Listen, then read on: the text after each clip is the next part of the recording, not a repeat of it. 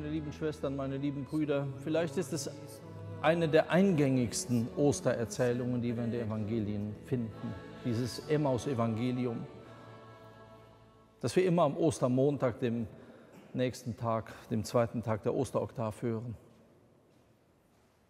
Wie dieser Unbekannte sich zu den beiden Jüngern gesellt und sie ihn nicht erkennen. Das ist ja alles überaus merkwürdig. Sie gehen miteinander in der Trauer. Sie haben irgendetwas gehört von Frauen. Ein Gerücht. Das ist eigentlich unsere Situation. Ostern, irgendwas war da. Genau wissen wir das jetzt gar nicht so. Das ist ja eine merkwürdige Beobachtung, die wir gerade in diesem Jahr auch machen. Auf der einen Seite werden permanent die christlichen Werte beschworen, auch von Leuten, wo man dann denkt, wissen die, wie man das schreibt? Geschweige denn davon zu wissen, was das denn ist. Die christlichen Werte werden beschworen und etwa nicht ganz so weit von uns findet am Karfreitag ein Car Friday statt auf dem Nürburgring, also ein Autofreitag.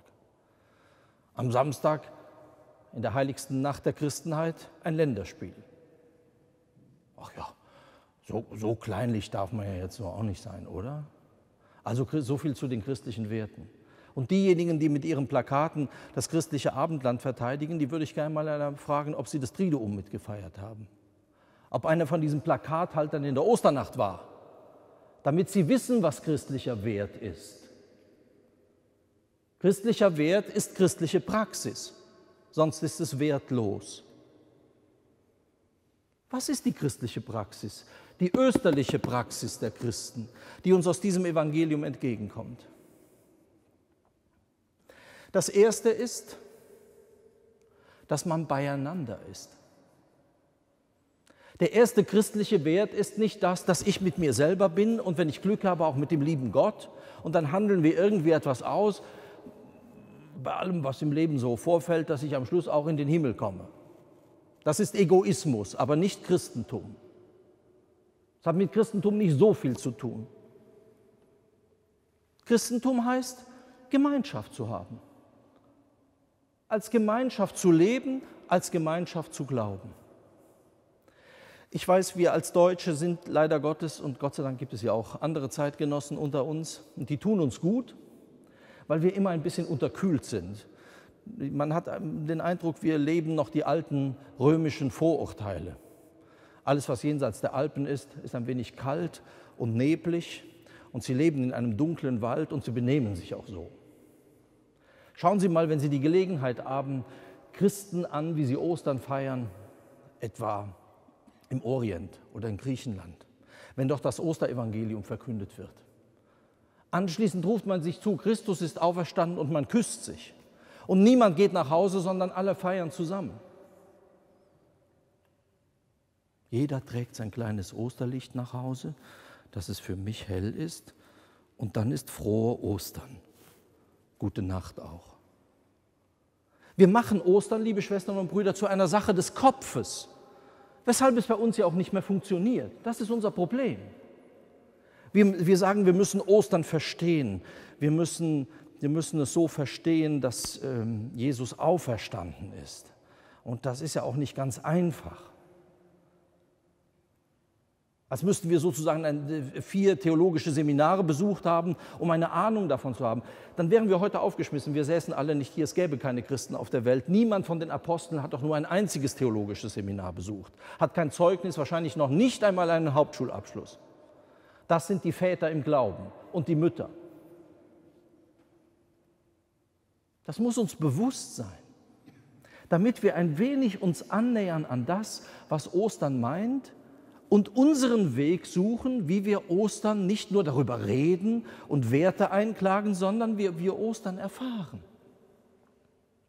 Diese beiden Jünger, die da unterwegs sind, haben es zumindest gespürt, dass der, dem sie da nachgegangen sind, drei Jahre ungefähr, dem sie ihr Leben verschrieben haben, dass der irgendwie meint, dass man sich nicht alleine lassen soll.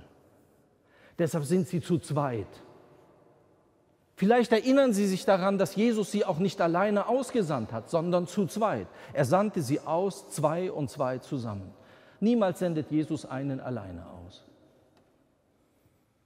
Und immerhin da sind sie seinem Wort noch gehorsam, auf dem Weg weg vom Geschehen. Was bleibt übrig von den drei Jahren, die sie ihn erlebt haben? In seiner Lehre, er hat Wunder getan, er hat Tote auferweckt. Mein Gott, kann man mehr erleben, würden wir sagen. Was übrig bleibt, ist das, was heute bei uns bestenfalls übrig bleibt, auch nach all den Theologen oder gerade nach all den theologischen Seminaren. Er war ein Prophet.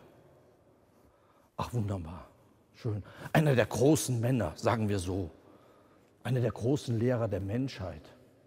Und dann kommen dann diese Werte wieder. Gerechtigkeit, Liebe, tralala. Es bleibt nicht viel. Und mühsam, ganz mühsam hat es dieser Auferstandene, dieser Unbekannte, denen beizubringen, die sich seine Jünger nennen oder zumindest bis vor drei Tagen genannt haben, ihnen zu erklären, was das denn bedeutet. Was es bedeutet, Jünger Jesu zu sein.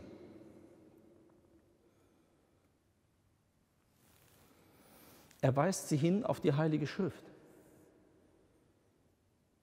Wir haben, wahrscheinlich gibt es keine Ecke im Kirchenjahr, da wir, wenn wir die ganze Osterfeier so mitmachen, wo wir so viele Lesungen aus der Heiligen Schrift hören. Denken wir an die Osternacht oder auch an die, an die Tagzeiten, etwa an den Trauermetten. Lange Lesungen viele Lesungen, viele Psalmen. Das ist nicht sozusagen, damit uns mit Verlaub gesagt am Schluss der Hintern brennt oder die Knie wehtun, weil wir so lange Lesungen hören müssen, sondern es ist, damit wir verstehen, wer der ist, der Auferstandene. Jesus sagt es selber einmal. Denn von mir reden alle diese Schriften, die Psalmen, alle diese langen Lesungen. Wir haben uns das abgewöhnt, sie so zu hören, weil uns die Alttestamentler seit einem halben Jahrhundert sagen, oh, das ist ein Fehler, dass die Christen sagen, die Heilige Schrift erfüllt sich in Christus. Wir können natürlich nicht sagen, dass die heiligen Schriften des Alten Testamentes nur dazu geschrieben sind, um von Christus zu reden. Aber für uns als Christen ist es klar, es ist ein Auftrag, sie so zu lesen, sie so zu verstehen, weil es der Auferstandene selber hier als der Unbekannte auf dem Weg nach Emmaus sagt. Habt ihr das nicht gelesen? Und er weist die Jünger auf etwas sehr Schwieriges hin, das uns bis heute schwierig erscheint. Dass dieser Messias, dieser angebliche Prophet, der Gesalbte, der Sohn Gottes, leiden muss. Denn das steht in den Schriften. Vielleicht wollen wir sie deshalb nicht mehr so gerne haben. Das ist dort geschrieben. Wir hatten den erwartet, der Israel erlöst. Nicht nur Israel, die ganze Welt erlöst. Aber um welchen Preis? Wie? Um den Preis des Leidens, um den Preis des Kreuzes, um den Preis der Hingabe, des sich Verteilens.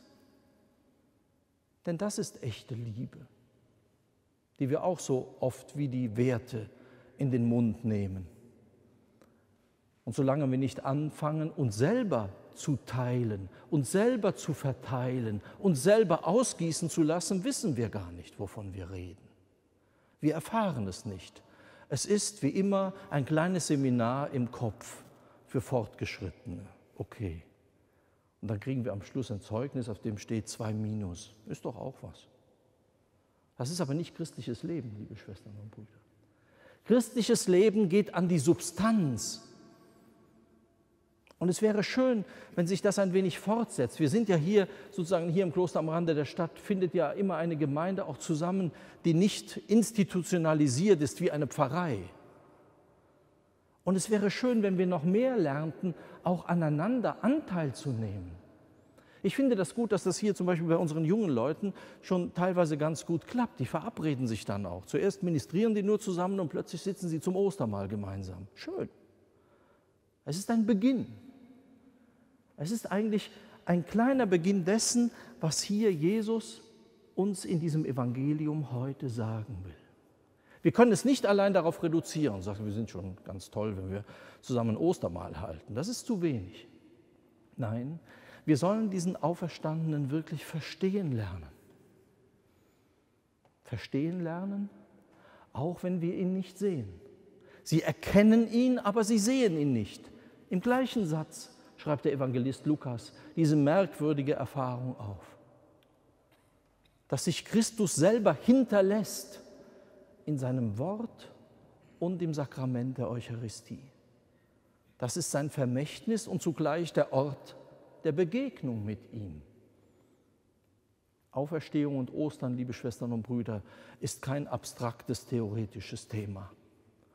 Es ist eine Lebenspraxis, in die wir tiefer hineinfinden müssen, die auch nicht plötzlich dann entsteht, weil vom Kalender her Ostern ist, sondern die einen Weg voraussetzt mit all den Fragen. Ob uns das bewusst wird, wenn uns jemand fragt, und sei es ein Muslim, die Menschen, die mit uns hier auf der Straße wohnen, was macht ihr da eigentlich? Was feierst du da gerade? Können wir Auskunft geben?